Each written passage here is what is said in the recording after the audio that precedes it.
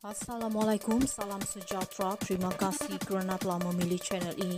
Jangan lupa tekan butang like, komen, subscribe dan share untuk Panggil balik pemimpin AMNO dipecat, digantung tapi masih setia kepada parti.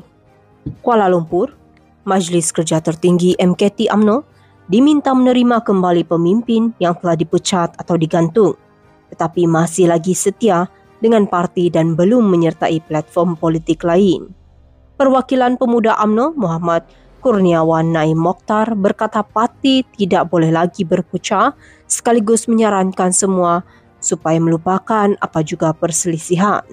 Pemuda AMNO minta budi baik MKT mana-mana pemimpin yang telah dipecat atau digantung sebelum ini ikuti parti lain dan masih sayang parti kita ini yang setia menunggu dipanggil balik ke dalam parti untuk kembali kita sudah tidak mampu lagi berpecah, sudahlah cukuplah buang yang keruh dan ambil yang jernih.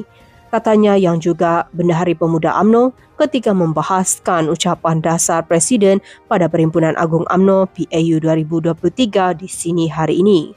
Semalam veteran AMNO Datuk Sri Tajuddin Abdul Rahman yang digantung keahlian parti selama enam tahun hadir secara mengejut di Pusat Dagangan Dunia WTC Kuala Lumpur lokasi Perhimpunan Agung Parti berkenaan. Bekas ahli Parlimen Pasir Salang itu memaklumkan beliau tidak akan meninggalkan AMNO dan akan menjadi orang terakhir jika perlu berbuat demikian. Bekas pemimpin AMNO yang lain yang dipecat atau digantung keahlian tetapi belum menyertai mana-mana parti lain secara rasmi ialah bekas naib presiden Datuk Sri Hishamuddin Hussein, bekas ketua pemuda Khairi Jamaluddin dan bekas ketua menerangan Syahril Sufian Hamdan. Namun mereka setakat ini tidak menunjukkan hasrat untuk menyertai AMNO semula.